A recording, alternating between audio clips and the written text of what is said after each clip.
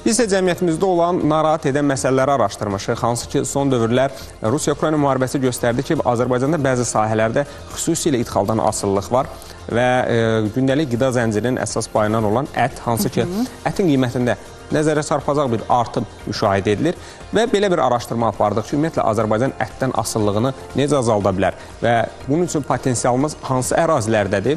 Əslində biz düşünürük ki, bəli, biz çox ət yeyirik və bu yaxınlarda biz elə xəbər ertəsinin daimi izləyiciləri bilirlər ki, biz dünyada ətin satışına və ətin qidalan qida rasionunda ən çox belə deyək, qəbuluna görə hansı ölkələr inandırım biz 114-cü yerdəyik. Yəni bizdə əslində o qədər də insanlar ət yemirlər, amma buna baxmayaraq faiz nisbətinə götürdükdə Qafqaz respublikaları arasında da birinci yerdə bizik ətin istehlakına görə.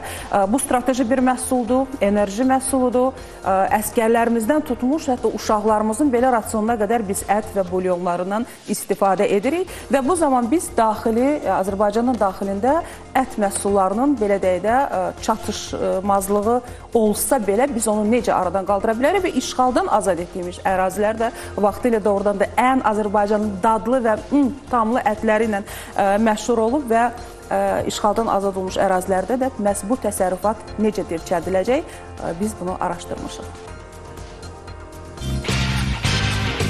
Azərbaycanda hər il 30 min tondan çox əlavə ət istehsal oluna bilər.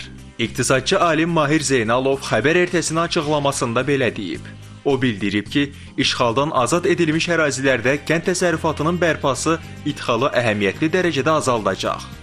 Ət və süd istehsalının vaxtı ilə Qarabağ demək 15 faizini Qarabağ regionu verirdi və gələcəkdə də gözlənilir ki, bu Qarabağ iqtisadiyyatı bərpa olunduqdan sonra bu e, bu regionda, yəni Qarabağ və Şərqi Zəngəzur iqtisadi rayonlarında təxminən ildə 30-35 min ton ət istehsal olunacaq ki, bu da Azərbaycanda o e, ixalı əvəz olunması baxımından yəni əhəmiyyətli rəqəmdir. Mahir Zeynalovun sözlərinə görə keçən illə müqayisədə ət 13%, süd məhsulları 17% bahalaşıb. Ancaq Qarabağ və Şərqi Zəngəzurda heyvandarlığın inkişafı qiymətlərdə də özünü göstərəcək. Azərbaycan qazancı onda olacaq ki, Azərbaycan artıq özünü e, ətlə, mal və qoyun əti ilə 100% təmin edə biləcək. Ətlə, südlə təminat yüksək səviyyədə olacaq. Yəni bu həm də ona imkan verəcək ki, Azərbaycanda bu qeyd etdiyim məhsulların qiymətləri yəni artmasın, ta ki əhali üçün əlçatan olsun. İqtisadçı bildirir ki, Azərbaycan hazırda ətə olan tələbatını 84% təmin edir. Azərbaycan ildə təxminən 350 min ton ət istehsal olunur ölkə üzrə və əlavə olaraq da bir 60 min ton da ət deməli ixal edilir. Yəni bu qədər də faktiki olaraq tələbat var.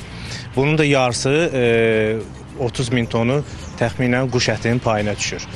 Ekspertin fikrincə bu sahədə istehsalın ixracat tövhəsi iqtisadiyyatın inkişafına daha da təkan verəcək. Nərmin Mirvaleh qızı Aydın Bayramov, Əkbər Mustafayev xəbər ertəsi.